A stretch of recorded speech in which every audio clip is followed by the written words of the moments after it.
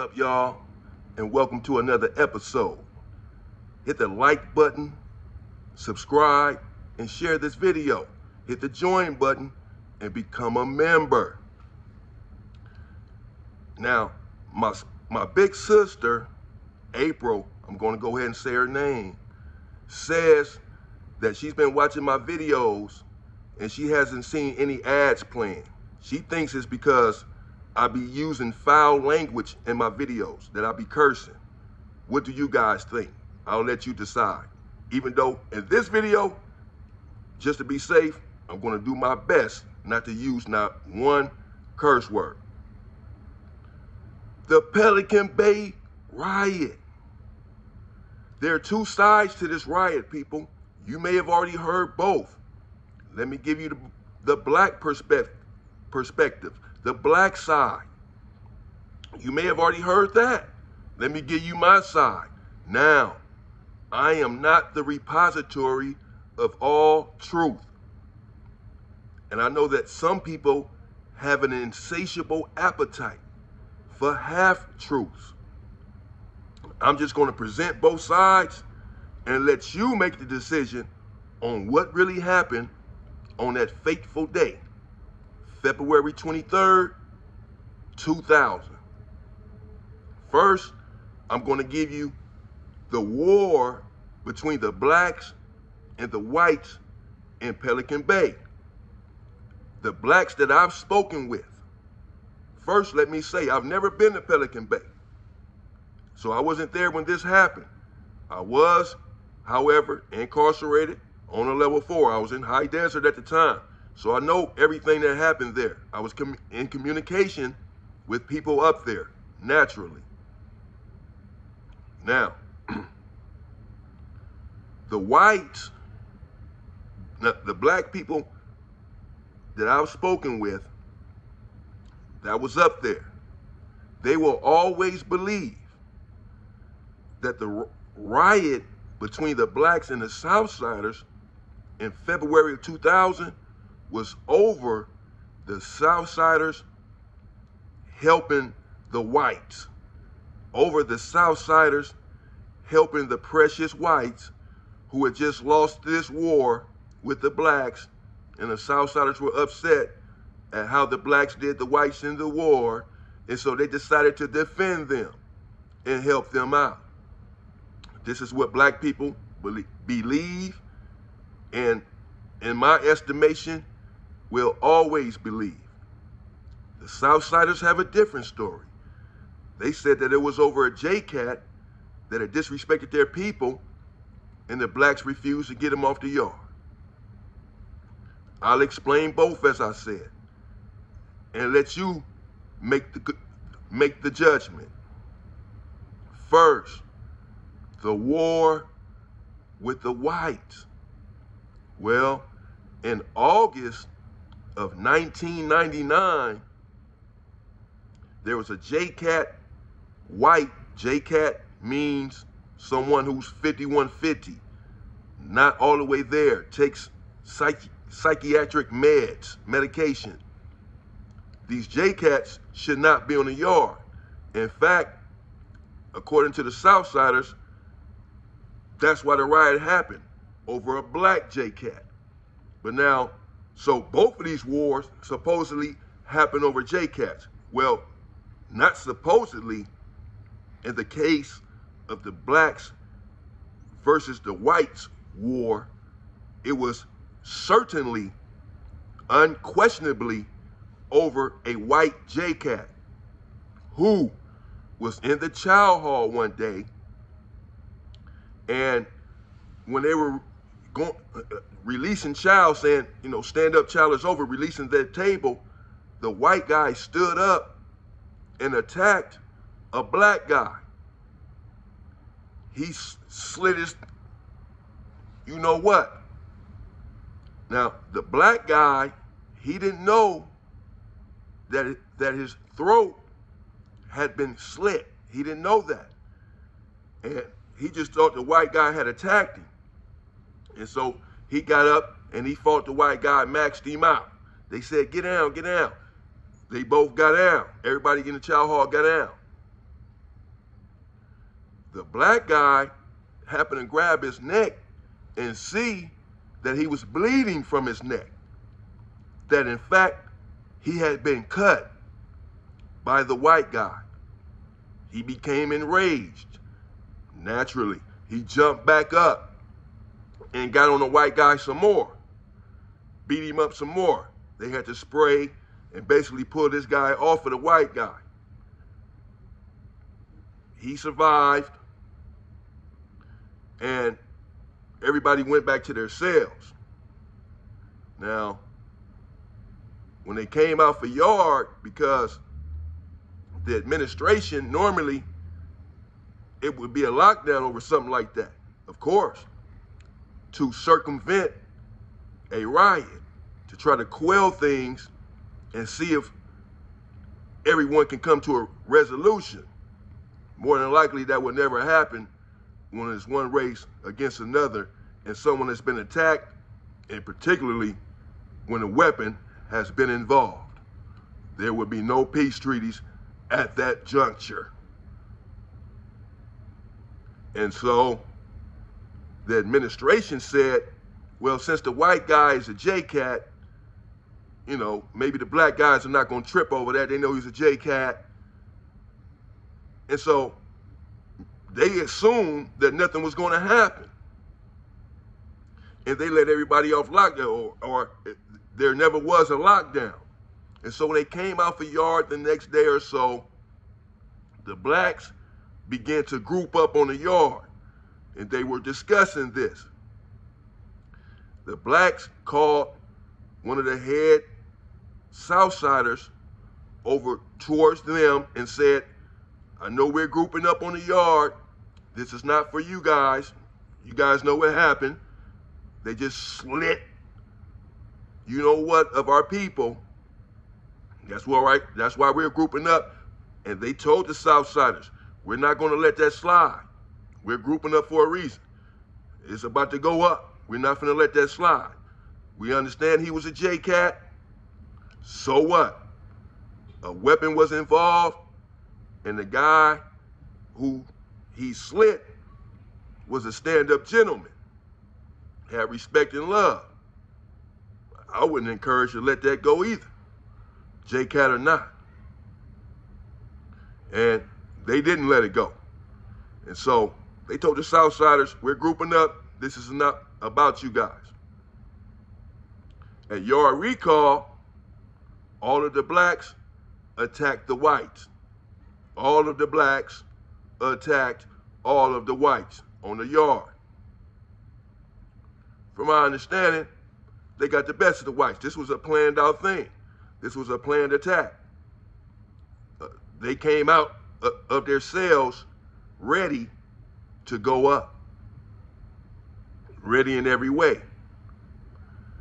After that, they were on lockdown for however long, apparently not too long, and they began to release them back to the yard, the blacks and the whites. But they were doing a slow release, releasing two and three cells at a time.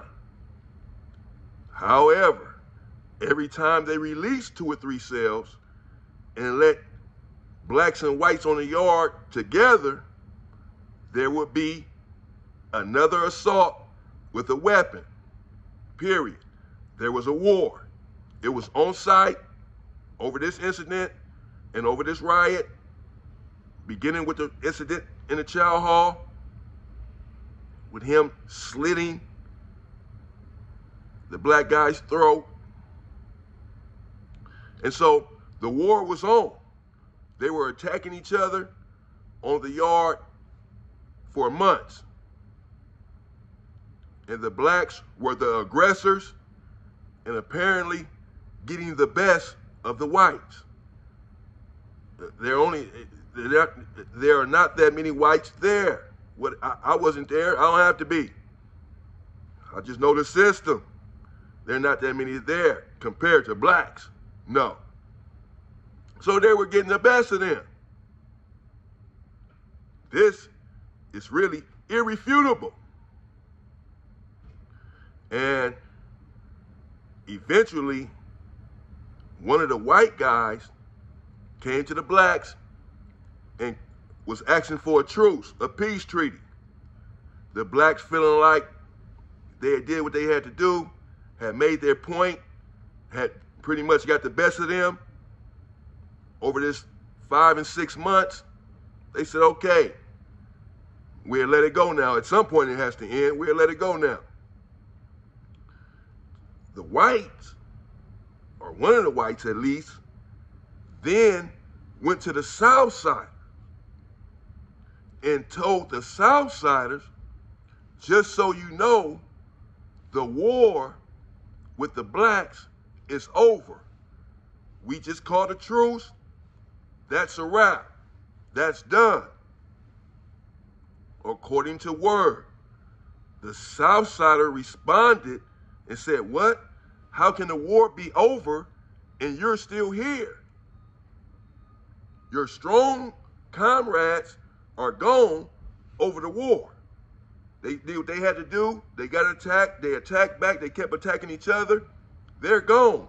And now since they're gone, you're calling a truce? Man, you weak.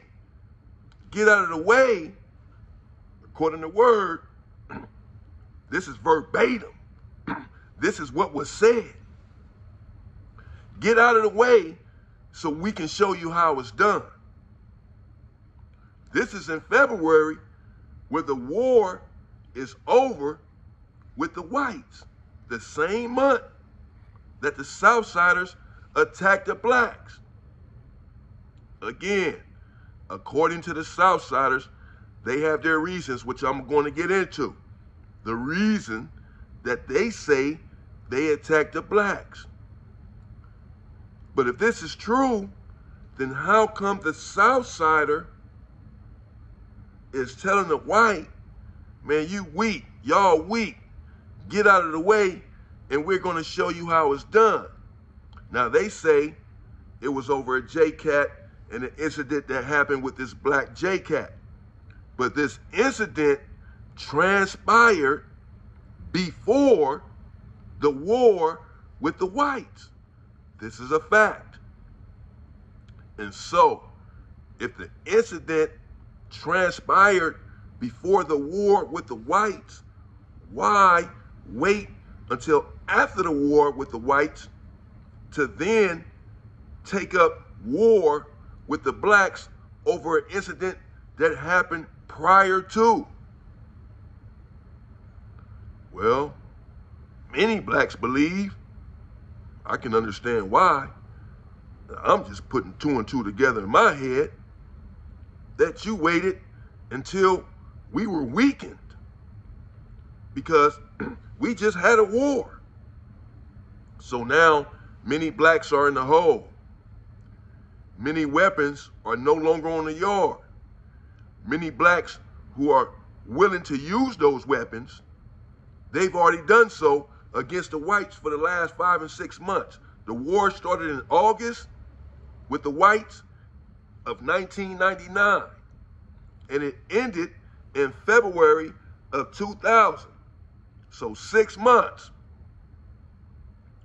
And then as soon as the war ended, literally as soon, the same month, a few days later, while the blacks are just focused on the war with the whites, making sure that's really over, recovering and recuper, recuperating from a, a, six-month protracted war, they get attacked by a, total, a, a, a whole nother group. Now, again, they said it wasn't over the whites. Whether it was or it wasn't, one thing's for sure. In my estimation, it was pretty sneaky to wait pretty, pretty, pretty low down to wait until the war was over with the whites. And we don't even have our eyes on you guys, thinking that there's something going on with you. We're so we're totally focused on the whites. We're having a war with them. And even though the war has just concluded, we're not certain that it's over. That's the word. Time will tell. So we're still focused on them. And our guard is down against you. And then you attack us, the blacks that's left on the yard. Because a lot were already gone. A lot of strong dudes were gone in the hole. They had already put in their work against the whites. So either way, whether it was for the Southsiders protecting the whites or not, one thing's for sure, they waited until that war with the whites was over, which gave them a decided advantage. And they had the element of surprise on their side as well and preparation. And that's the war with the whites and the blacks. And that's how that started. It went on for six months. The whites asked for a truce, a peace treaty. The blacks agreed, and it was over. It was done. It was really a done deal.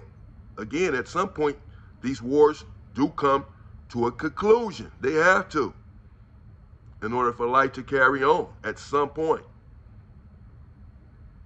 But as soon as it was over, as soon as the black men agreed to a truce with the whites and thought everything was back to program and business as usual, they were attacked by the Southsiders days later. Mm. Again, the Southsiders side, well, they say we wasn't protecting the whites. We had our reasons for why we attacked the blacks. I say either way,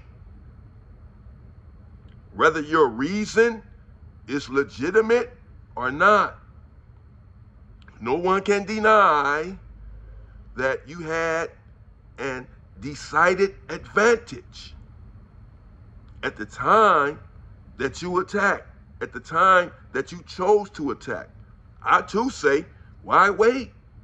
If the incident happened before the incident with the whites even happened, and that war even started, the incident with the South Side and the black happened. Well, they have their reason as to why they said they waited. I'll give you that reason. I'll give you the Southsider side. In the name of parity, in the name of being fair, I'll give you their side next as to why the riot transpired. And I'll let you make the decision. Are they being honest? Or were they protecting the whites in their attack of black people? I'll let you decide, people. I have my opinion. I'll withhold it for now, and I'll let you make the decision when I bring you their side of the Pelican Bay riot next.